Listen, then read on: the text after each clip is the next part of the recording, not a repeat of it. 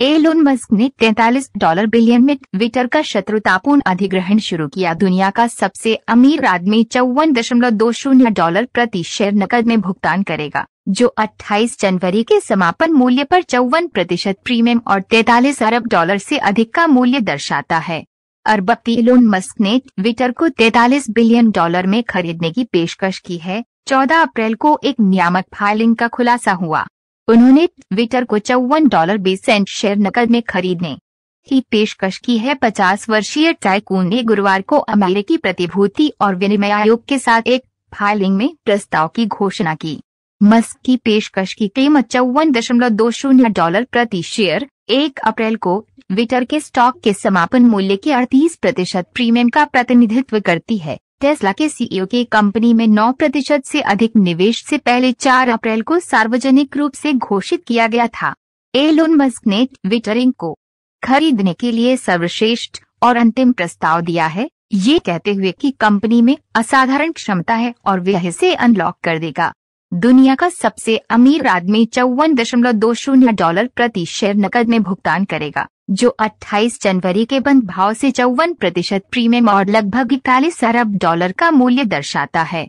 शत्रुतापूर्ण अधिग्रहण शुरू करने के बाद टेस्ला बॉस ने 14 अप्रैल को कहा, ट्विटर में, असाधारण क्षमता है, मैं इसे अनलॉक करूँगा। मस्क ने कहा कि उनका मानना है कि ट्विटर न तो पनपेगा और न ही अपने मौजूदा स्वरूप में सामाजिक अनिवार्यता को पूरा करेगा। ट्विटर को एक निजी कंपनी के रूप में बदलने की ज़रूरत है। अगर सौदा काम नहीं करता है, ये देखते हुए कि मुझे प्रबंधन में विश्वास नहीं है और न ही मुझे विश्वास है कि मैं सार्वजनिक बाज़ार में आवश्यक बदलाव ला सकता हूँ, मुझे शेयर धारक के रूप में अपनी स्थिति पर पुनर्विचार करने की आवश्यकता होगी। माइक्रो ब्लॉगिंग प्लेटफॉर्म ने जवाब दिया, ट्विटर एलोन मस्क से अनचाही गैर बाध्यकारी प्रस्ताव की प्राप्ति की पुष्टि करता है। ट्विटर इंक ने पुष्टि की है कि उसे एलोन मस्क से एक अवंचित गैर बाध्यकारी प्रस्ताव मिला है, जिसमें कंपनी के सभी बकाया सामान्य स्टॉक को चौवन डॉलर बीस सेंट प्रति शेयर नकद में हासिल करने के लिए है। ट्विटर निदेशक मंडल कार्यवाही के पाठ्यक्रम को निर्धारित करने के प्रस्ताव की सावधानी पूर्वक समीक्षा करेगा, जिसे वह मानता है कि कंपनी और सभी ट्विटर स्टॉक होल्डर्स के सर्वोत्तम हित में है।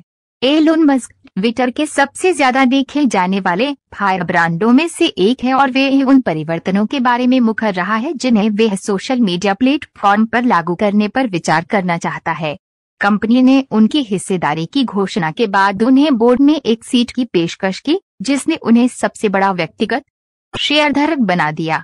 अपनी हिस्सेदारी सार्वजनिक होने के बाद मस्क ने ट्विटर के सैन फ्रांसिस्को मुख्यालय को बेघर आश्रय में बदलने और प्रीमियम उपयोगकर्ताओं को स्वचालित सत्यापन अंक देने के लिए ट्वीट्स के लिए एक संपादन बटन जोड़ने से संभावित कदमों के बारे में तुरंत साथी उपयोगकर्ताओं से अपील करना शुरू कर दिया। एक ट्वीट ने सुझाव दिया है कि ट्विटर मर रहा है। ये देखते हुए कि बड़ी संख्या में अनुयायियों के साथ कई हस्तियाँ शायद ही कभी ट्वीट करती हैं।